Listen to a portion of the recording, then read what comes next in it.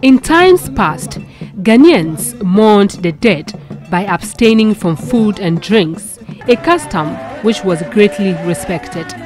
The body was not kept in the morgue, probably because there were no mortuaries necessitating burial on the same day or after a few days' time. Fast forward into the 21st century. Mourning the dead in Ghana is now more of a celebration involving the wearing of fashionable costumes, playing of high energy music and dancing.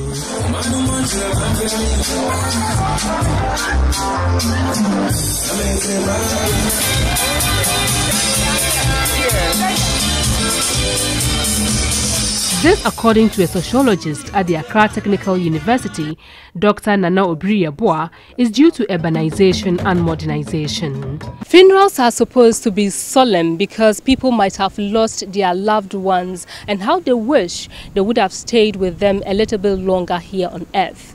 Now, the occasion to bid farewell to the deceased funeral is what we are talking about today in our Ghana Month campaign. Organizing funerals in Ghana in recent times has become very expensive and we're asking whether it is a way of paying respect to the dead or the funeral is being commercialized. The merrymaking habit of funerals today has become popular and widespread, resulting in some families running into huge debts because of its expensive nature.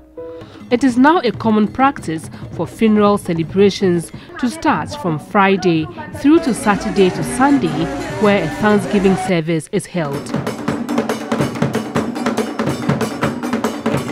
And of course, the one week celebration at which only close family members used to meet to discuss the burial arrangements has now turned into another fun galore with an open invitation to all and sundry who can make it.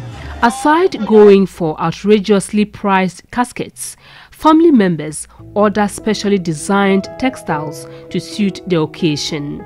Currently, funeral homes have taken over, providing complete solutions.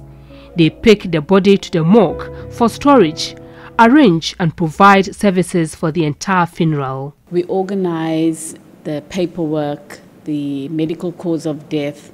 We also do uh, death extracts for the family. We do embalming, washing, dressing, beautification. So we really take care of the stress that a family experiences. Charges range between 1,500 cedis and 12,000 cedis depending on services required. But there are other choices. We have developed a policy, a, an assurance policy. So the assurance policy really takes care of the entire need of the family, as opposed to a normal um, funeral policy where you get cash benefits. Our funeral policy, you get the services, and those services include the basic needs of your funeral. Despite such cost build-up, sociologist Dr. Nana Obiri Yeboah is of the view it is good for the local economy. If my death will bring a road to my village, it's worth uh, celebrating. If my death will lead to building a school, painting a house, providing jobs for the carpenter, it's not worth celebrating. You see, so we are changing our philosophy of life. He argues if every stage of life is celebrated, why not death? Look how much you spend on your birthday. You have commercialized birthdays. You have commercialized Valentine's Day, even just expressing life. We have commercialized it. So every stage of our life is business today.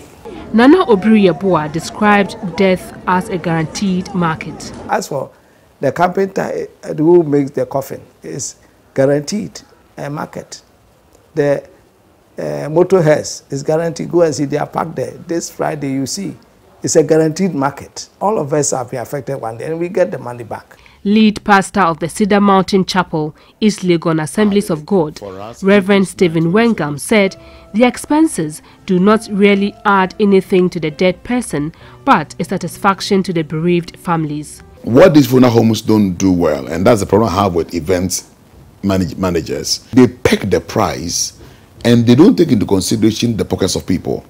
Look, you should be able to say that if I say I have 2,000, can you organize 2,000 funeral for me? It should be possible. Have different packages and say that whatever amount of money you have, we should be able to work around it.